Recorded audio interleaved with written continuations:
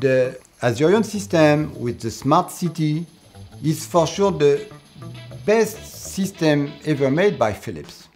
It has profited from the experience provided by the users and it's for sure something which is incredibly very easy to use.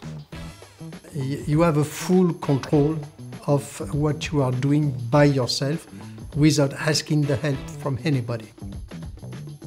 Something which is very important for an academic uh, hospital because we are receiving a lot of emergency cases from outside, especially during the night and the weekend. We are very uh, reduced number, so with this new uh, interface we can really go uh, in more details faster and safer without the need of so many people.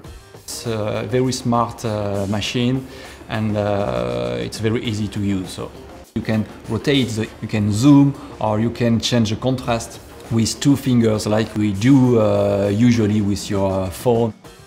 Since we can do all the imaging manipulation at table side, we don't have to go back and forth from the room. So for the patient, it's much more easy. We are still near him and he's not afraid of having like his physician or his operators moving out and we do most of our interventions are done on local anesthesia and the comfort of the patient is very important for us.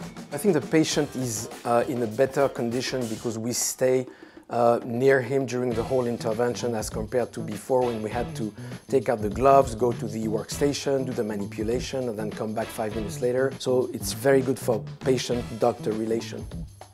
I think the ergonomy has you know, reached such a, a nice level, very, very nice level.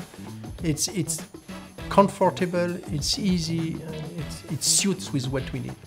All the tools now are used daily by everybody as compared as to the situation before where it would be only selected super experts that would be able to use it.